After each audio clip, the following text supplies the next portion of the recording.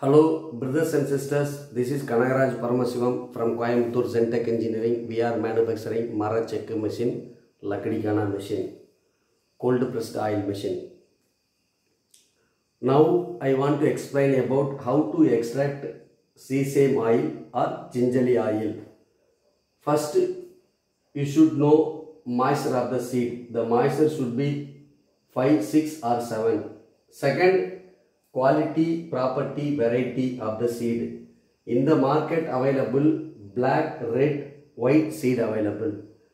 Don't select old seed. Kindly don't select old seed. If you crush old seed, definitely the quality of the oil will damage. And third one, you want to add palm jaggery or coconut jaggery or sugarcane jaggery. In this market, lots of variety available in sugar sugarcane sugar. So fourth one, how to add water.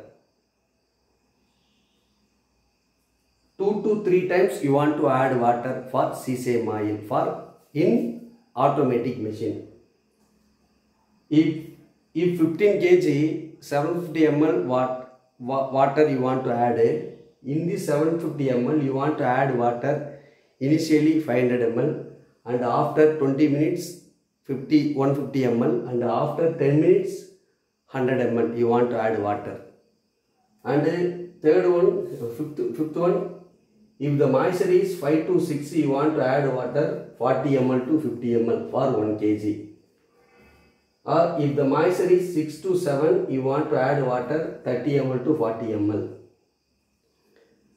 in north india some people didn't add jaggery or palm jaggery or sugarcane jaggery for sesame crushing but in south india most of the people using this jaggery so kindly note this point for crushing sesame oil or gingerly oil. Thanks for watching. Farming is not a business, this is life. Farming is not a business, that is life. Kindly subscribe my page, kindly share my page, kindly like my page, kindly touch the bell button. Thanks for watching.